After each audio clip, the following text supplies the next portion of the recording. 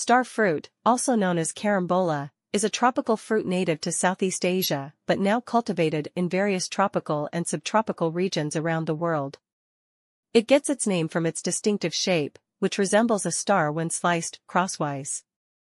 Star fruit is typically yellow or green and has a sweet and tart flavor. Here are some health benefits of star fruit. Rich in nutrients, starfruit is low in calories but rich in essential nutrients like vitamin C, vitamin A, potassium, and fiber. These nutrients support overall health and well-being. Antioxidant properties Starfruit contains antioxidants such as vitamin C and flavonoids, which help neutralize free radicals in the body, reduce inflammation, and protect cells from damage that can lead to chronic diseases. Heart health The fiber and antioxidants in star fruit may help improve heart health by lowering cholesterol levels, reducing blood pressure, and promoting healthy blood vessel function.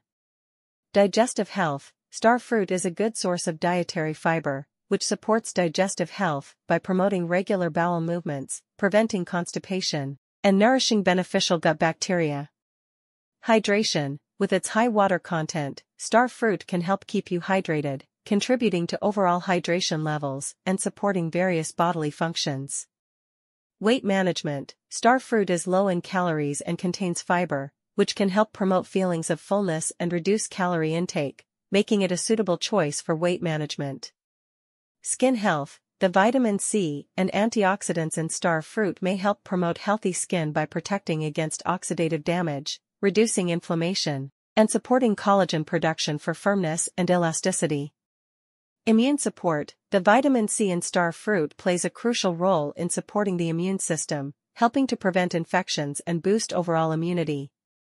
It's essential to note that while star fruit offers numerous health benefits, some individuals, particularly those with kidney issues, should consume it in moderation or avoid it altogether due to its high oxalate content, which can be harmful to people with kidney problems.